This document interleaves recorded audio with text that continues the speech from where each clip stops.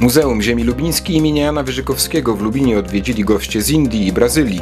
Obcokrajowcy znaleźli się w Polsce w ramach programu wymiany uczniowskiej z jedną ze ścinawskich szkół. Zwiedzanie ZG Lubin z zewnątrz, wizyta w muzeum i poznanie historii Zagłębia Miedziowego były jednymi z atrakcji, jakie przygotowano dla nich w Polsce. I heard that it is like uh, the world's, uh, not world's, but uh, Europe's uh, biggest copper uh, surprise was the machines, the big machines, and that we saw uh, outside, and it was really good uh, because I never saw it.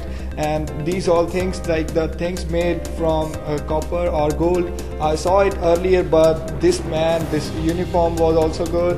Kiedy do Muzeum Ziemi Lubińskiej przyjeżdżają wycieczki zagraniczne, o historii kopalni, produkcji i tradycjach górniczych trzeba opowiadać trochę inaczej. Trzeba mówić e, trochę prościej, nawet tłumacz czasami ma problemy z przetłumaczeniem bardziej e, specyficznych górniczych e, słów. E, Jest to ciekawa też, ciekawe doświadczenie dla mnie.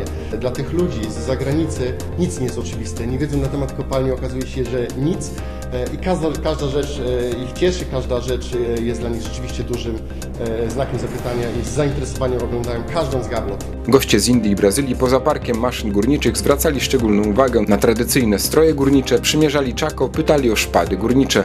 Muzeum Ziemi Lubińskiej rocznie odwiedza 30-40 polskich grup, czyli około 2000 osób. Z zagranicy jest mało gości, zwykle 2-3 wycieczki rocznie.